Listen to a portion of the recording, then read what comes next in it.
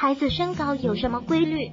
小时候个子低怎么办？还能长高个吗？百分之八十家长都相信自己的孩子是晚发育，无论孩子发育是否缓慢，百分之七十五家长都觉得自然生长就可以。百分之六十三的家长不知道孩子一些不良的习惯将会严重影响生长发育。百分之九十的家长在遇到孩子挑食、爱吃甜品。饮料等食物置之不理，很多家长给孩子吃过汉堡、薯条和一些高热量、容易造成孩子性早熟的食物，让孩子早早的停止长个。那么孩子的身高从医学角度来说，和骨龄有密切关系。中等身材孩子骨龄在一年以内，高个子孩子骨龄超过实际年龄一年以上早熟。如果将发育程度和骨龄结合。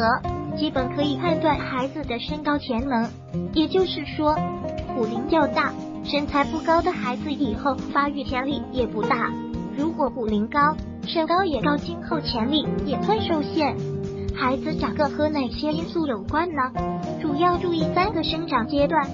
第一阶段，四周岁的孩子，这个阶段的孩子甲状腺素和生活习惯基本养成，生长激素分泌也趋于稳定。如果排除先天疾病和不良症状，给孩子形成良好的生活作息和良好的饮食习惯，那么这些因素对孩子身高有着决定作用，可以多长个几公分不成问题。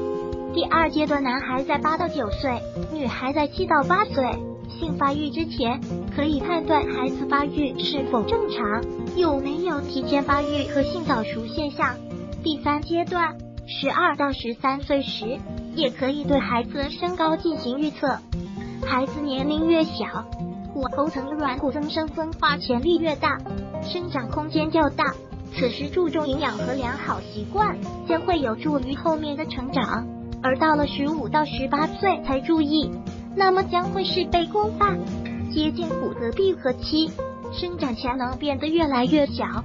如果喜欢本视频，请分享并订阅本频道。访问 T T News X Y Z 获取更多相关资讯。